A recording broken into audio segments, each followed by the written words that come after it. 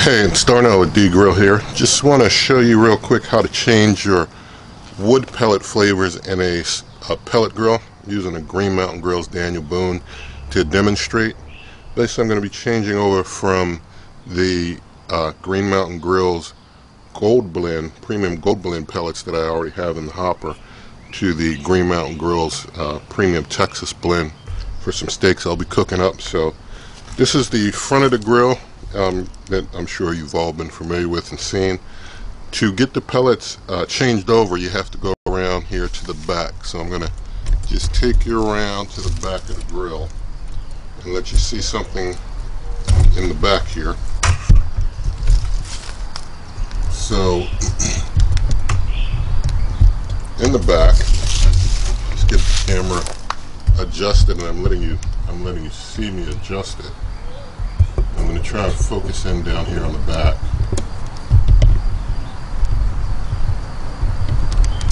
You probably noticed uh, in the back now, and I'm going to get a bucket to catch pellets and just stick it right there underneath. But you probably noticed there's a door right here. So with that door, I basically open that up to let my pellets out from the back as soon as I open it,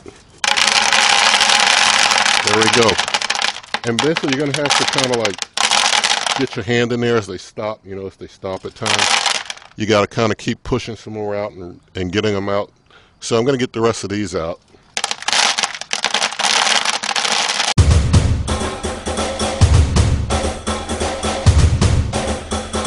Alright, so I've gotten about as much as I can get out.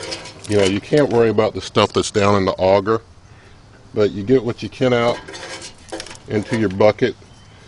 And if you got a lot of flavors of pellets that you want to switch around frequently, then you're going to need quite a few buckets. So just get the door slid back in here. All right, I got that door back in nice and tight. So now that I've got the door in and I got uh, my pellets in my bucket that I can just uh, keep for safekeeping. Now I'll just take my new premium Texas blend pellets and start putting those into the hopper here.